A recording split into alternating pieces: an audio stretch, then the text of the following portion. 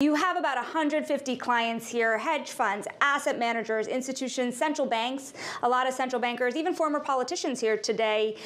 How has Citadel Securities grown and evolved? This used to be a company mostly known for equity market making, but very noticeably pushing hard into the world of rates and credit. Yeah, thanks for having me, Sonali. So we're really, really proud of, of the growth of our franchise over the last uh, really eight years.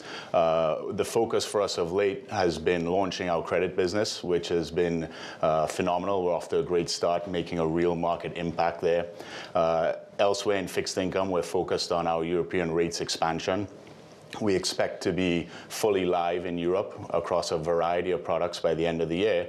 Uh, and also, really, the biggest evolution for us as a franchise has been that deepening of relationships with exactly those clients that you mentioned, where we are now seen as a trusted liquidity provider, source of liquidity for large risk transfers, complex trades, really adding value to our clients in, in the way that they really, really need.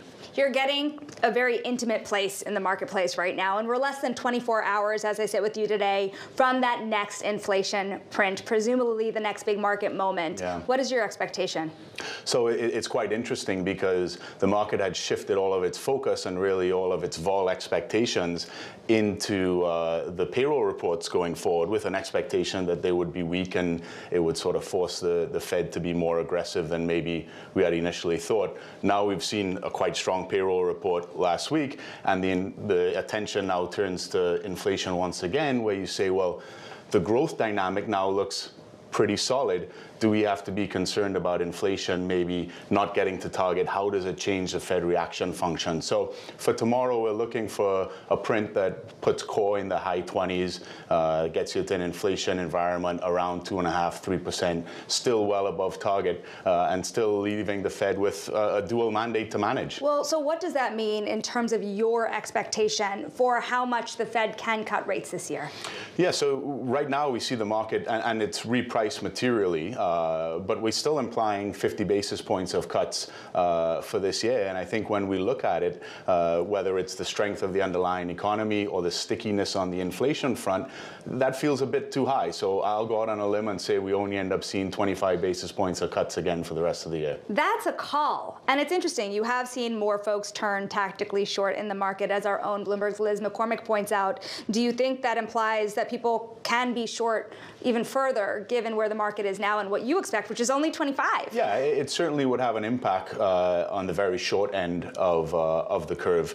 Uh, so there's, there's room to trade this market tactically, and I think that's really going to be the biggest message and biggest dynamic going forward is the economy is in uh, a bit of an inflection point. There are a lot of cross currents, and I think you're going to get an opportunity to trade what we expect to be material volatility going forward. Material volatility, it was incredible. A year ago when we sat here, uh, your clients had an incredible range of outlooks yeah. here for what the short end would look like. What does that look like going into the end of next year? We had Esther George apparently saying you can't even really rule out a hike next year. Yeah. Well, I, I think getting the Fed in, in a position where they would consider hikes is going to be quite difficult. I think what's much more likely is we end up in a world where inflation remains sticky above target and the pace of easing slows down relative to what uh, the market has priced in. But again, I think the opinions are so wide and so varied that we're once again going to see a market that responds aggressively, likely over responds aggressively to one or two data points. And we're going to get quite a wide range again in, in the front end of the curve.